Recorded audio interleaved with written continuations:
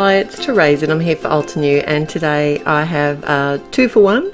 This is a His and Hers Clean and Simple Ninja Invasion design. So I'm going to start with the Hers card and I've got a piece of, it's a pale grey cardstock and it's cut to the same size as my card front and I'm stamping, there's a set called To the Moon and has a layered moon on it and rather than stamp base layer of the moon, I decided to use the grey cardstock instead. So I'm actually only stamping the second and third layer of this stamp. It's the, and I've used the greys, so it's a, like a tone on tone sort of effect. Now I have decided to use my MISTI today because then I can get a lot more even coverage with my stamping. It takes the guesswork out of it. If I need to add a couple of layers, which I have in a lot of my stamping today, especially in the Ninja cards because it's actually a new stamp set and I haven't used it much so they haven't been conditioned very well yet. But um, the best thing about the MISTI is you can restamp over your image and you know it's going to be in exactly the same spot. Right, so I did decide to stamp my sentiment at the same time because I have my cardstock in, I might as well get it done, and I've chosen a sentiment from the same set, which is probably my favourite sentiment out of the set, and I just had to use it. It says crafty by day, deadly ninja by night.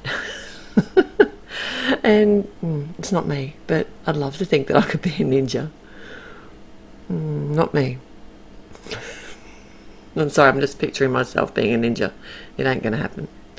Okay, I wanted the moon to have some whiteness about it, and I tossed up um, whether to use pigment inks and do it that way on the coloured cardstock. But this is my cheats way of doing it. I decided to actually come back in with a Prismacolor, a white Prismacolor pencil.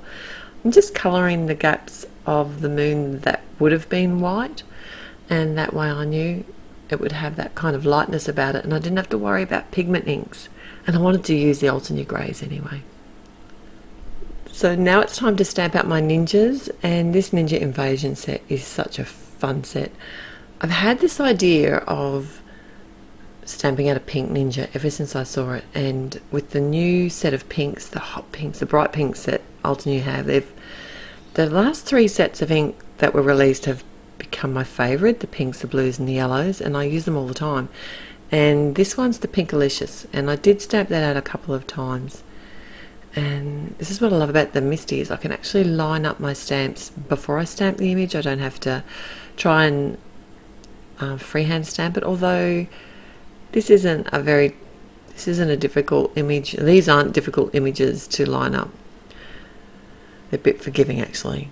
And I use the sand dunes colour for the skin and there's uh, also a little separate hand. Now each of these images is um, actually circled so if you have, have a look at the set you can tell which pieces go with which ninja but there's also a, a guide on the back of the pack or at the website as well.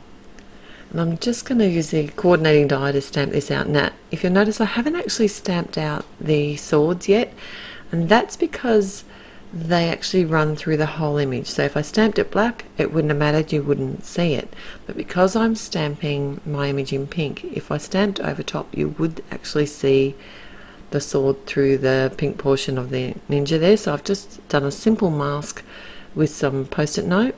I wasn't sure, and I actually did die cut it first before I stamped it out. Was I was six of one, half a dozen another. I wasn't sure whether I wanted to stamp it then die cut it. But I just thought this was an easy way. I know that the swords are going to be exactly where they need to on the image if I've die cut it first.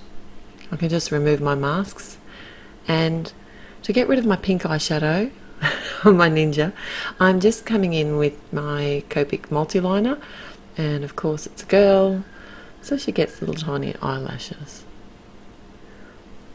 And I also did decide to come in and colour over the pink ink on the handles of the swords just to make them black.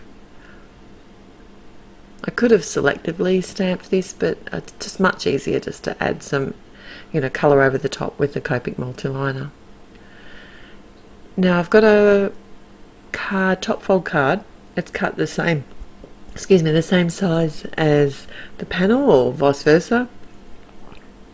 and I've added that, added some adhesive, adhesive. Oh, I'm struggling with my words, I'm sorry, I'm post night duty here. I'm added it to the front of my top fold card with some adhesive and now I'm just going to pump up my little pink ninja girl. Isn't she awesome? I did also add a rhinestone to her because you need a bit of sparkle on a girl ninja. right, this is my second card. It's even more clean and simple. It's a boy card. It's a his card for the Ninja Invasion. And I am using my MISTI again. That's a new stamp. So I did actually condition my stamp with just a normal white pencil eraser. And that's what I found works the best. And it's a great cheats way to sort of allow your ink to um, stamp out evenly. If you're having trouble with your inks, it's a good trick to try. Now I'm stamping directly on my card. It's another top fold card, but this one's a landscape one and I've done the classic black ninja here for a boy. Adding in the skin layers and also the sword and the, the belt. I've used that turquoise blue. It's just beautiful. Now my sentiment I did in grey, but it was just too pale, so I came back and stamped it a second time, which is the best thing about the MISTI, like I said. So that's it for my cards today. Thanks for joining me and I'll have all the details listed at the blog and the links will be below. So bye for now.